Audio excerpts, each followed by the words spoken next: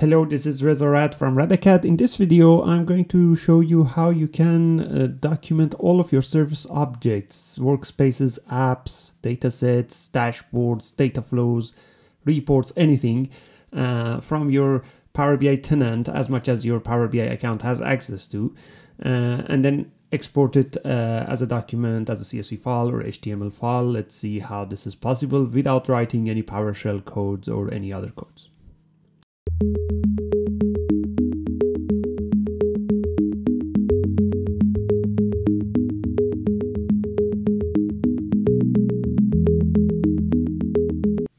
To document your Power BI service objects, you can download and install Power BI Helper. It's a free tool we have developed in RADACAD. You can use it for free. Uh, the link to download it is down in the description below.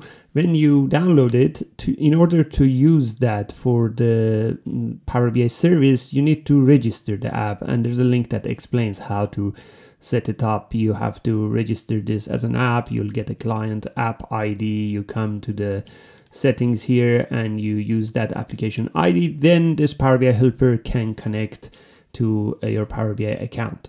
Uh, to connect to the Power BI uh, account and get the service objects, you have to log in, which you can use uh, your Power BI account login. If you want to access to all objects, entire objects, you have to use an account which is a Power BI administrator account uh, and then also choose this option which says login as admin.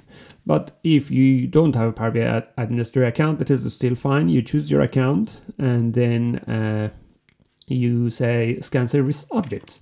Uh, when you scan service objects, you have the option to say download reports as well, which can be quite helpful in cases that you want to have a copy of those reports locally somewhere um, just for your versioning.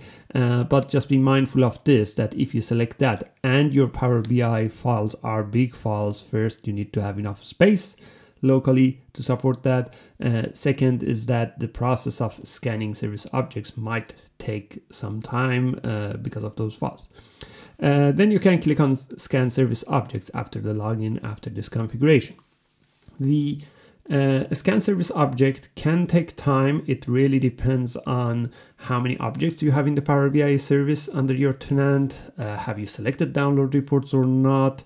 What is your internet connection speed? All of that.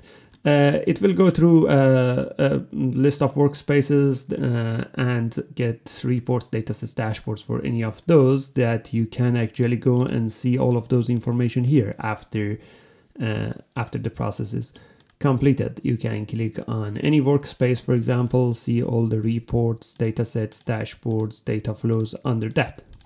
So it basically gives you all the information without writing any code, everything available for you. And the account that I used here is not actually a Power BI Service Administrator account, uh, but still I can see all the workspaces that I'm part of it and I have access to it and I have some objects into it. Now, this tool will allow you to do a lot of other things like publishing multiple uh, publishing files to multiple dashboard uh, to multiple service uh, sorry to multiple workspaces um, copying from one workspace to another workspace export the audit log and, and things like that but here we are just talking about exporting uh, a document so after you got all of this service information you can easily click on export to document here which will bring you to the documentation tab, or you can directly come to the documentation tab. Here you can do configurations such as what you want the style of documentation to be because it is a HTML file, your table headers, the font size, font family, all those kind of things. And here is the type of objects that would be exported um, from the service documentation, such as workspace details, reports, dashboards, datasets, data flows, apps, uh, the configuration, things such as tenant settings, gateways, and data sources defined under that. Um, ideally, if you want to document everything, you'll just leave everything checked and then create service documentation. This will create uh, an HTML file which looks like this, uh, which will have basically all of these uh, information in it list of workspaces reports now i have plenty of reports here uh, data sets, all of those configurations that we have seen there, we will have list of all of those mentioned here. Now you might you may like to have this information as CSV file because let's say you want to generate a report for that or you want to store it somewhere. Uh, you can see that I have also exported these as CSV file and that is another very simple option in the service tab instead of export to document if you choose this option which is export all metadata uh, that is what is going to happen. It is actually exporting that as CSV file for each of these um, type of objects. So quite quite simple. You get uh, all of your service objects exported without writing any PowerShell scripts, anything like that. It can be a good way to uh, to see what you have in the Power BI service in one holistic single view.